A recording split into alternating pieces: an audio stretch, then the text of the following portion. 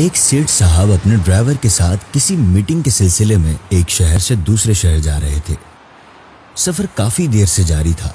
जहर का वक्त हो चुका था। गाड़ी पेट्रोल पंप पर रुकी तो ड्राइवर ने सेठ साहब से कहा सेठ साहब मैं नमाज़ ज़ोर अदा करके आता हूँ। सेठ साहब ने कहा अभी नमाज़ में काफ़ी वक्त पड़ा है आगे वाले पंप पे अदा कर लेना। ड्राइवर ने सफ़र जारी रखा।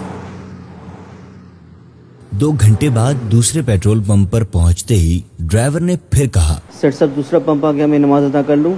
अभी काफ़ी वक्त है आगे वाले पंप पे अदा कर लेना। ड्राइवर बहुत परेशान हो रहा था कि कहीं नमाज़ का वक्त न निकल जाए। ड्राइवर ने गाड़ी की स्पीड बढ़ाई और अगले पेट्रोल पंप पर पहुँचते ही गाड़ी को रोक दिया। सेठ साहब ने फिर टालना चाहा मगर ड्राइवर की जिद परेशानी देखकर सेठ साहब खामोश हो गए। ड्राइवर वज़ू के बाद नमाज़ अदा करने के लिए मस्जिद में दाखिल हो गया। ड्राइवर इस बात पर हैरान था कि सेठ साहब नमाज़ अदा करने नहीं आए। बहरहाल ड्राइवर अंदर नमाज़ पढ़ने में मशगूल था जबकि सेठ साहब बाहर सिगरेट फूंकने में मसरूफ थे।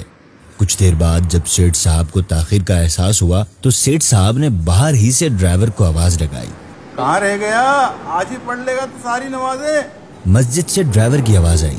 आ रहा हूँ। वैसे यहाँ कोई अपनी मर्ज़ी से नहीं रुकता। वही आता है जिसे बुलाया जाता है। बुलाया जाता है नमाज़ ना पढ़ने वाले गौर करें। वो समझते हैं कि वो उसके पास जा नहीं रहे हैं, जबकि हकीकत में वो उन्हें अपने पास बुला नहीं रहा होता।